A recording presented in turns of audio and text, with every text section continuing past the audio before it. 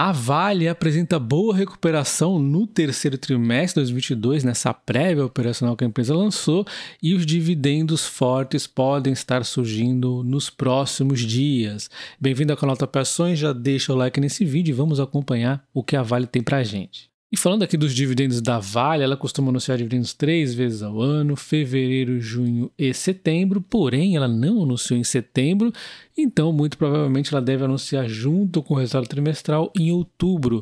Observe que é um provável, né? não é garantido, mas é interessante a gente ficar atento ao mapa de inteligente, que geralmente na lógica de Barça, quando as ações costumam anunciar dividendos, elas costumam é, subir a cotação. Né? E a Vale é um case que isso pode acontecer bastante, porque ela costuma dar ótimos dividendos, né?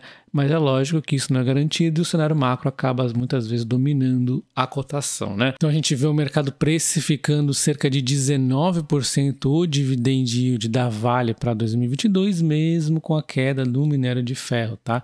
Então essa nos dá uma boa previsão aqui de dividendos. É lógico que estou falando 80-20, depende de quando a matéria foi feita, dia 27 de setembro, a cotação mudou um pouco, mas também o operacional veio forte, né? Então a gente vê aqui um dividendo de 10,30 no ano e é esperado mais 9, então aqui na conta de padeiro faltam então 9% para a gente estar recebendo aí, segundo o mercado. Aproximadamente isso aí me parece bastante interessante de uma só vez, né? 9%, se isso se concretizar, vai ser porrada, né?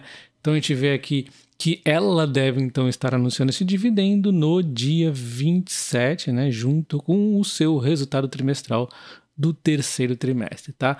E a Vale divulgou o resultado do terceiro trimestre de 2022 na questão aqui do operacional e foi um belo de um salto, 21%, um aumento no volume do minério de ferro, principalmente aqui a questão do clima seco no sistema norte, também aqui maiores compras do minério de ferro de terceiro na produção do Sistema Sul. Né? A venda aqui de finos e pelotas de minério de ferro aumentaram 6%.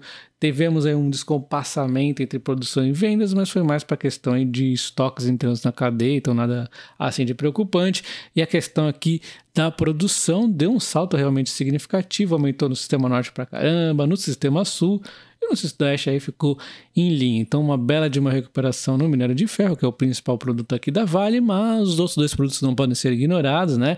Os metais, o níquel, né? Um, importantíssimo na transição energética e também na parte automotiva, os carros elétricos e tudo mais, e o cobre também. O cobre ainda mais na questão da transição energética aí, das matrizes é, de eólica e solar, né? Nessa transição energética, então a gente vê aqui a questão de que o níquel aumentou 51% a produção, um belo de um salto, onde houve uma recuperação daqueles problemas que a gente tinha visto no trimestre passado e o mercado exagerou pra caramba na Vale. Então a gente vê as refinarias retomando após um longo período de manutenção no segundo trimestre de 2022, a conclusão da reforma do forno 4 PTVI, né, na PTVI, as vendas do níquel, olha só, aumentaram apenas 13%. Por quê? Aquela parada do, do segundo trimestre é, deixou a empresa acabar fazendo compromissos, né, para arcar seus compromissos. É, é, desse, a produção desse trimestre ela teve que vender lá para o 4T, ó. Então a produção é para arcar compromisso do 4T. Então acabou meio que impactando o 2T na venda do 3T, mas a gente vai receber logo ali no 4T, né? Então é, temos boas notícias para o quarto T também, né, que vai levar aqui bastante níquel, né?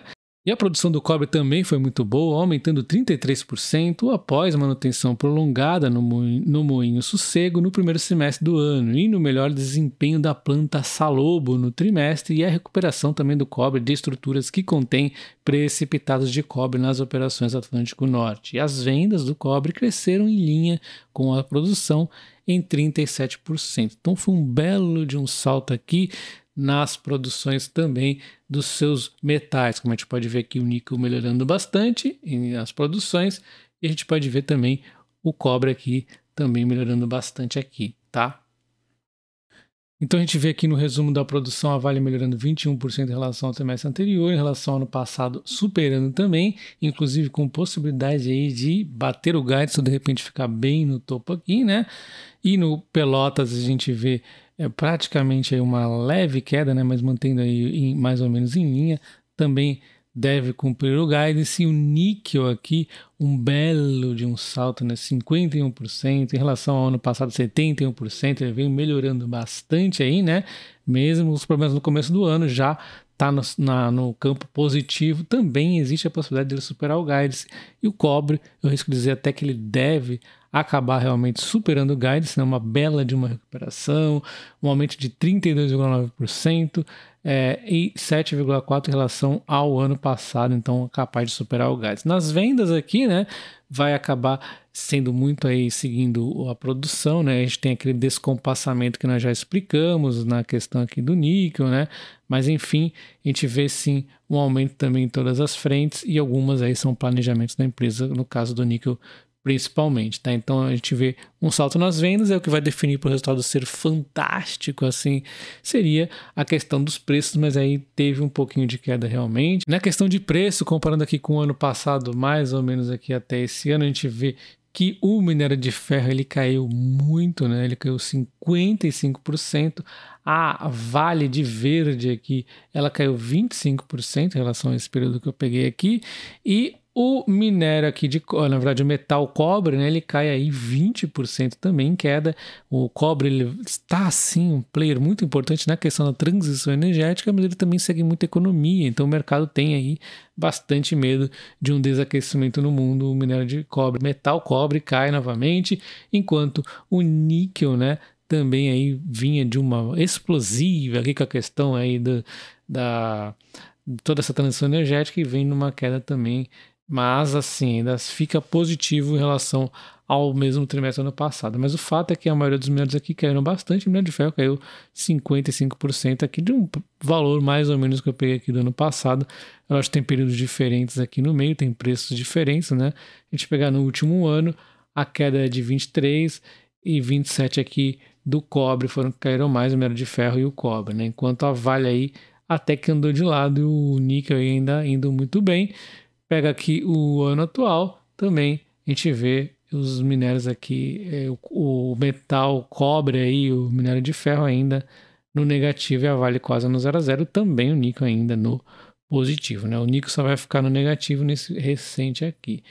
Em termos de cotação da Vale, ela vem aqui em queda de 3,46 aí no ano, né? E eu marquei aqui esse bloquinho aqui como um bloco que eu gosto de estar comprando a Vale, né?